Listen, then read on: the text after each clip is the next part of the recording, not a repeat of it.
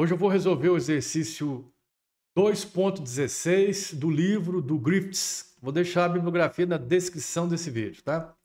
Então vamos lá. Um cabo coaxial longo, é essa figura aí não, possui uma densidade volumétrica de carga uniforme ρ no cilindro interno, raio A, e uma densidade superficial de carga uniforme na carga externa é, do cilindro, é, raio B. Essa carga superficial é negativa e de magnitude exata para o cabo como um todo, sendo eletricamente neutro. Encontre o campo elétrico em cada uma das três regiões. A primeiro é dentro é, do cilindro interno, S menor do que A. É, no segundo tópico, entre os dois cilindros, então o S está entre A e B, né, onde S é a posição onde você quer encontrar esse campo elétrico. E no terceiro tópico é externa ao cabo, ou seja, é, S é maior do que B. Beleza, então a primeira coisa que a gente vai fazer aqui é vamos escrever o vetor elemento infinitesimal é, de comprimento de arco. Então,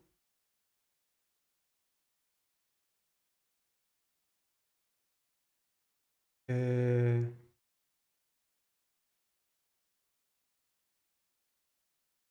dl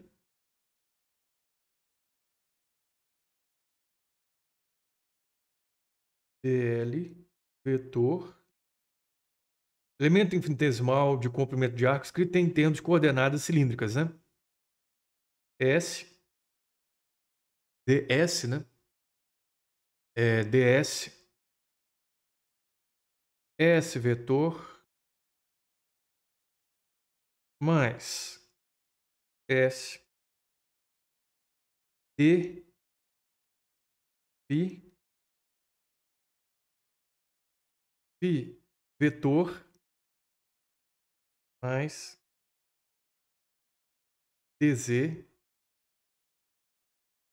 Z vetor. Bom, por que, que eu, eu gosto de escrever isso aí? É, para a gente entender né, sobre os elementos é, é, infinitesimais de volume e de área. Né? Como eu obtive essa equação, vou deixar na descrição do vídeo, tá? Desse vídeo. Beleza. Então, é, no primeiro caso aí, que ele chamou de I, falar que o comprimento desse, desse cilindro aqui, esse fio, né, cabo coaxial, ele é L. Aqui dentro tem a, positiva, né? A carga positiva e aqui a negativa, né? No, no cilindro externo. Beleza. É, então, a primeira ele quer no interior do cilindro interno, é isso? Deixa eu ver. No primeiro tópico. Uh, S menor que A, isso mesmo.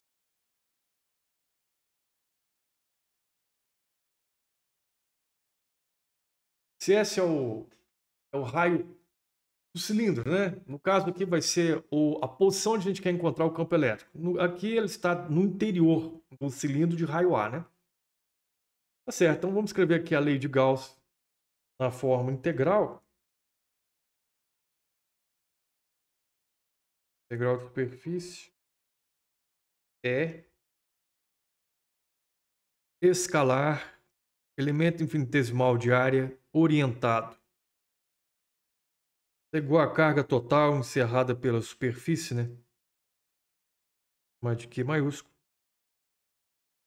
Epsilon zero.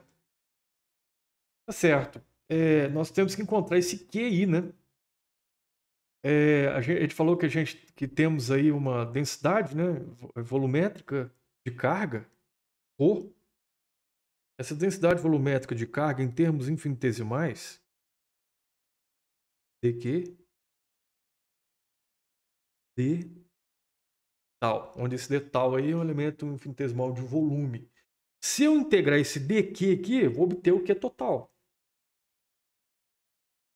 É total nesse encerrado nesse, nesse, nessa região, né?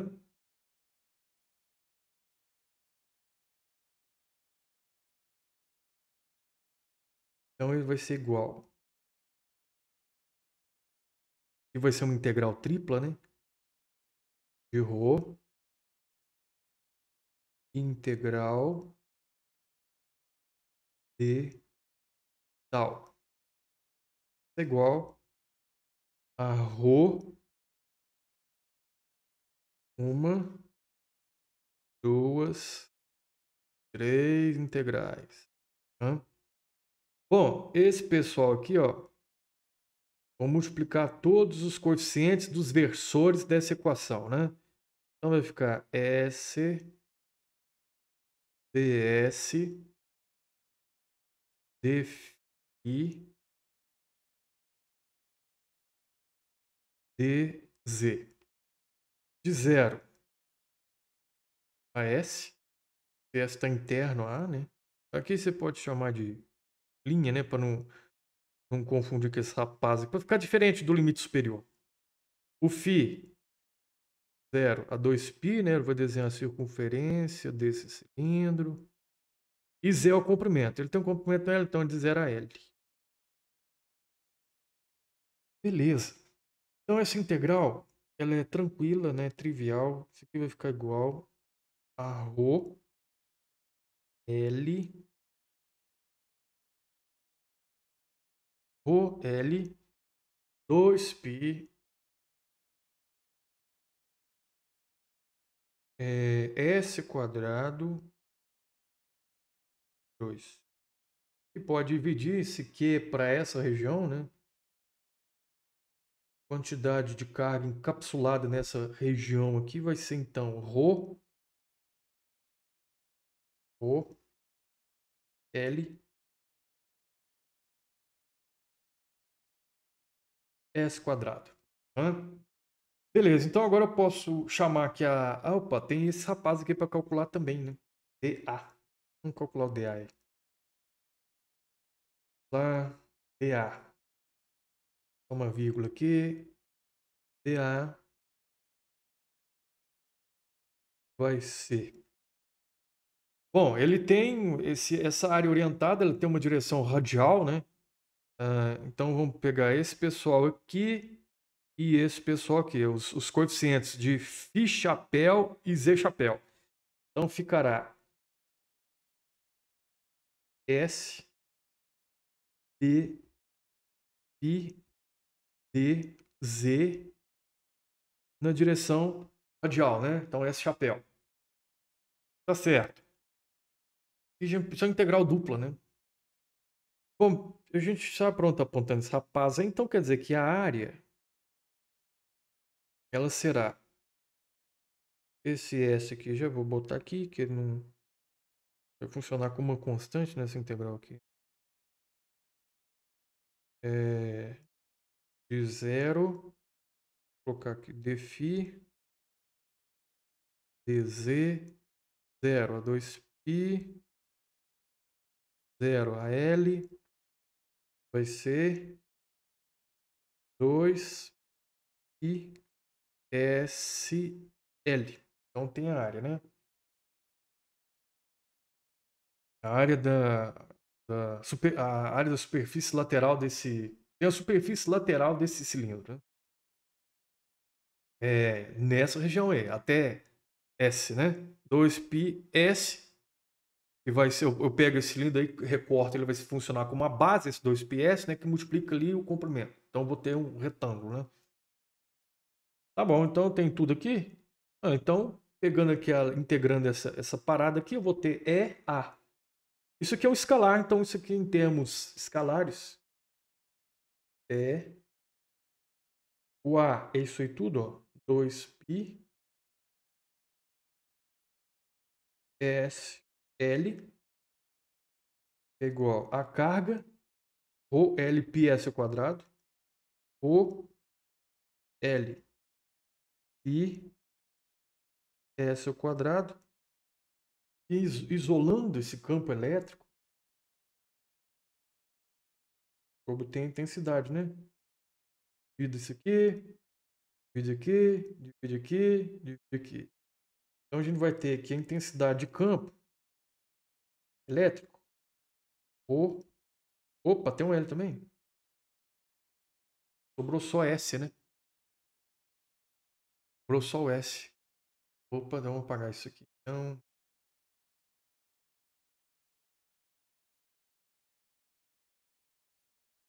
Sobrou só o S na parada, em no numerador. O S. E aqui eu esqueci de dividir essa galera aí pelo Y0. É porque, porque eu estou fazendo? Estou aplicando essa parada aqui. Estou aplicando a lei de Gauss para o campo elétrico. Né? É, sobrou o que aqui? Rho S. Rho S sobre 2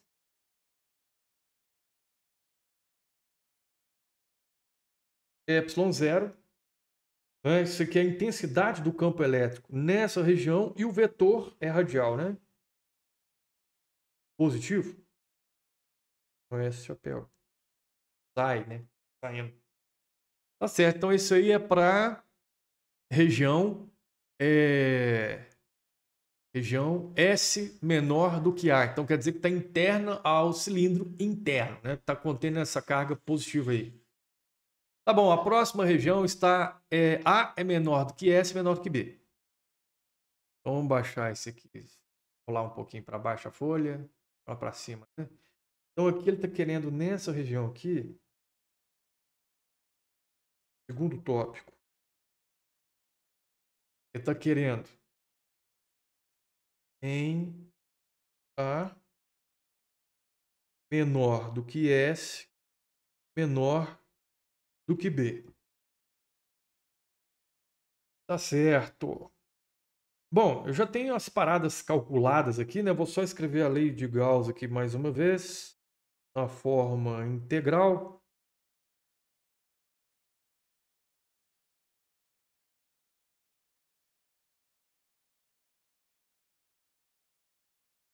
Carga encerrada na região que a gente está estudando.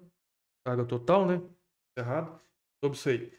Beleza, só que eu já tenho a, a eu já tenho a, a equação para calcular a carga aqui, né? Essa parada aqui, só preciso mexer nos limites né? para o S. Então quer dizer que a carga ela vai ser igual ao ρ, a integral tripla. Ali está de. O S está além do A, não é? Ele está além do A está antes do B. Então aqui vai de zero. Deixa eu escrever o integrando aqui primeiro. Vai ser S, D, S, D, I, D, Z. Então, ó, ele está entre o. Ele está além do A e antes do B. Então vai D0. De 0 a A, né? Ele pegou todo o ar toda a carga do A, encapsulou toda a carga do A, né? O S está além do A, antes do B. O φ de 0 a 2π.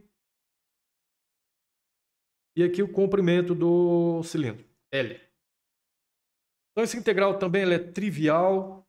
Só para escrever que não vai ficar embolado. Baixar, subir a página um pouquinho.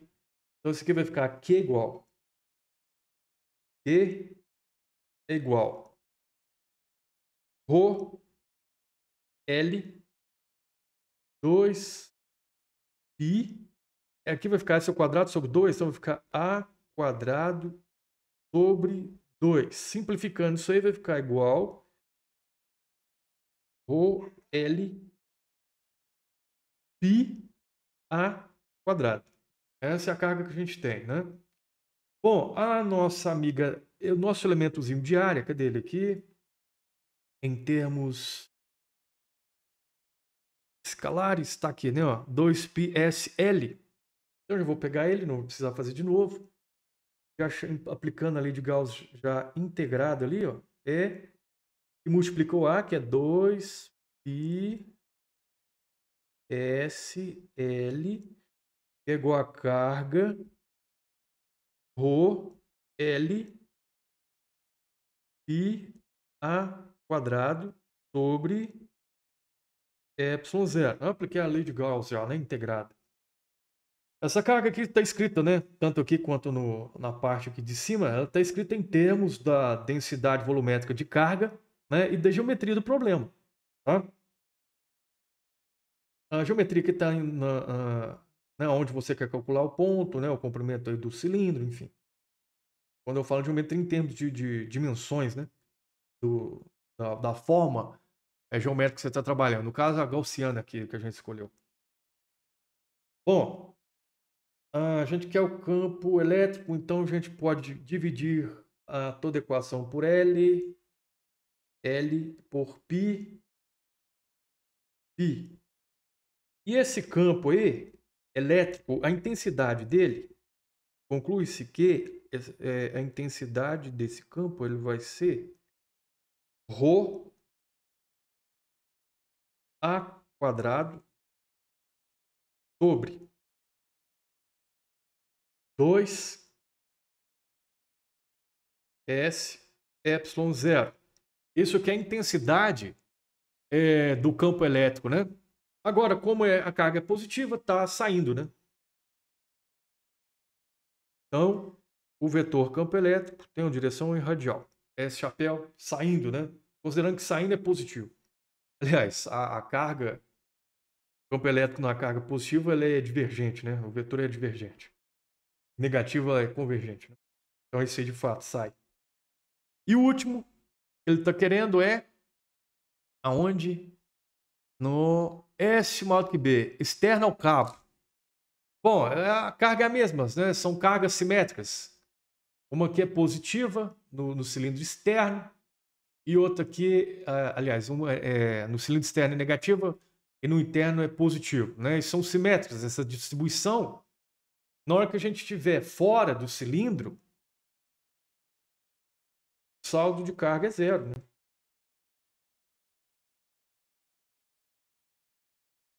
Então, S maior do que B, está fora. Então, como é que fica a lei de Gauss aqui nessa história? Para esse caso, que você tem uma distribuição simétrica de cargas elétricas, ó, quem que é o Q total nessa parada? É zero, né? Zero. Então, nós concluímos que o campo, nesse caso, é zero. A intensidade desse campo aí é zero, tá? Fora do cilindro. Bom, é isso aí. E Feliz Natal!